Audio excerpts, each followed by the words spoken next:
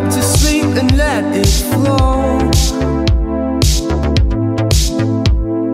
One more time, we won't look back. I'm far too close, please don't attack.